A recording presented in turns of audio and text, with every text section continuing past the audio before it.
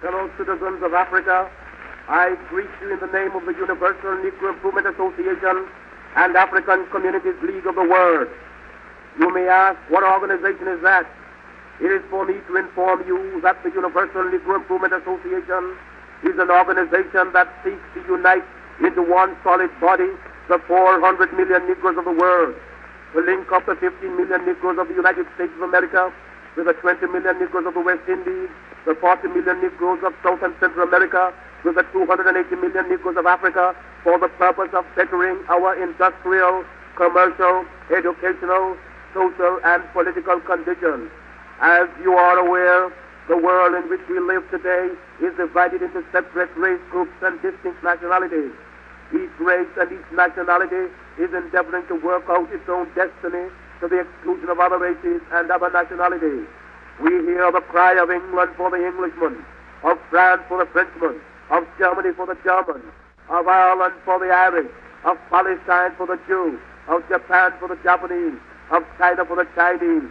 We of the Universal Negro Improvement Association are raising the cry of Africa for the Africans, those at home and those abroad. There are 400 million Africans in the world who have Negro blood coursing through their veins. And we believe that the time has come to unite these 400 million people for the one common purpose of bettering their condition. The great problem of the Negro for the last 500 years has been that of disunity. No one or no organization ever succeeded in uniting the Negro race. But within the last four years, the Universal Negro Improvement Association has worked wonders in bringing together in one fold four million organized Negroes who are scattered in all parts of the world, being in the 48 states of the American Union, all the West Indian Islands, and the countries of South and Central America and Africa. These four million people are working to convert the rest of the 400 million scattered all over the world. And it is for this purpose that we are asking you to join our ranks and to do the best you can to help us to bring about an emancipated race. If anything praiseworthy is to be done, it must be done through unity. And it is for that reason that the Universal Negro Improvement Association calls upon every Negro in the United States to rally to its standards. We want to unite the Negro race in this country. We want every Negro to work for one common object, that of building a nation of his own on the great continent of Africa. That all Negroes all over the world are working for the establishment of a government in Africa means that it will be realized in another few years. We want the moral and financial support of every Negro to make the dream a possibility.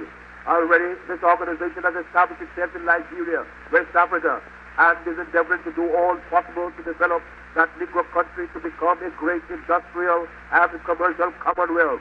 Pioneers have been sent by this organization to Liberia, and they are now laying the foundations upon which the 400 million Negroes of the world will build. If you believe that the Negro has a soul, if you believe that the Negro is a man, if you believe the Negro was endowed with the senses commonly given to other men by the Creator, then you must acknowledge that what other men have done, Negroes can do. We want to build up cities, nations, governments, industries of our own in Africa, so that we'll be able to have a chance to rise from the lowest to the highest positions in the African Commonwealth.